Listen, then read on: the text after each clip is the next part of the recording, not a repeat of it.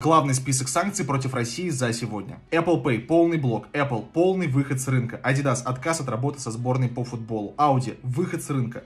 AMD – запрет поставки микрочипов и вскоре запрет на поставку видеокарт. Amazon – полный блок всего ритейла. Adobe – полный блок. BBC – отзыв лицензии на вещание. BMW – закрывает заводы, блокирует поставки. Bolt – выход с рынка. Boeing – выход с рынка. Chevrolet – выход с рынка. Cadillac – выход с рынка. Carlsberg – ограничение экспорта. Cinema 4D – не работает приложение. Coca-Cola – выход с рынка. Danone – выход с рынка. Disney – отмена всех фильмов. Dell – выход с рынка. Dropbox – перестанет работать в стране через несколько дней. DHL – выход с рынка. Евровидение – дисквалификация. Ford – закрывает все магазины. FIFA – дисквалификация сборной. Google Pay – частичный блок. Google Maps – блок инфо для России. HP – запрет ввоза. Instagram – блокировка пропаганды. Intel – запрет поставки микрочипов. Jaguar – уходит с рынка. Lenovo – уходит с рынка. MasterCard – приостановка производства карт. Майорск – остановка поставок. Это значит AliExpress и Asus больше не доставляют в Россию. Mitsubishi – увольнение работников 141 сервисного центра. Microsoft Office – обсуждается широкий комплекс мер. Netflix остановил работу над российскими оригинальными проектами. Nike закрывает все магазины. Nintendo – запрет на покупки в рублях. Nestle закрывает все 6 фабрик в России. OnlyFans – закрытие в стране.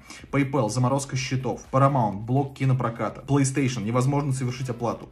Porsche – выход с рынка. Renault – выход с рынка. Samsung Pay – блокировка сервиса. Scania – выход с рынка. Spotify – невозможна оплата подписки. Sony – блок кинопроката. Toyota – массовое увольнение сотрудников. Visa – блокировка банком под санкциями. Zoom – отзыв лицензии на разработку программного обеспечения. Volkswagen уходит из страны. WebMoney – запрет транзакций.